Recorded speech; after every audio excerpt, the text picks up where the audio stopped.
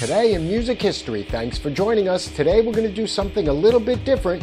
We're going to talk about musician Jack White. Jack White was born John Anthony Gillis on July 9, 1975 in Detroit, Michigan. Jack, the youngest of 10 children, spent some of his early childhood as an altar boy. He even made an appearance in an independent film as an altar boy. Mr. White was on his way to seminary college when he realized he couldn't take his newly acquired guitar amp with him, so he ditched that idea quick.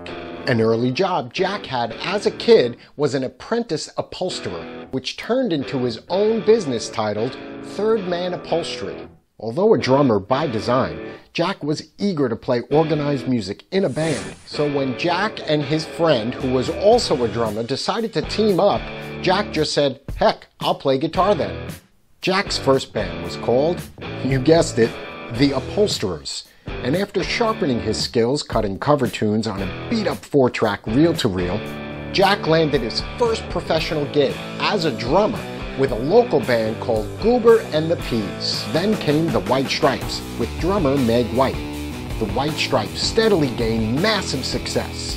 From 1997 to 2011, the White Stripes released six different records and also made the Guinness Book of World Records for the shortest concert ever performed.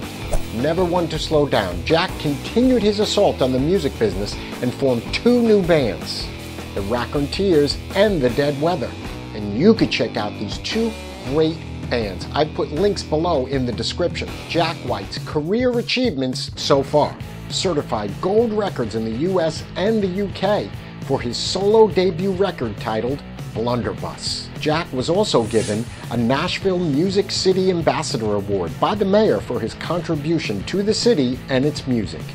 That's it for this episode of Music History. There's a lot more to Jack White. In fact, he's making history now. If you don't have any Jack White material and you're looking for a CD, a DVD, an audiobook, don't worry, I've got you covered. Check out the links in the description below. See you next time on Today in Music History.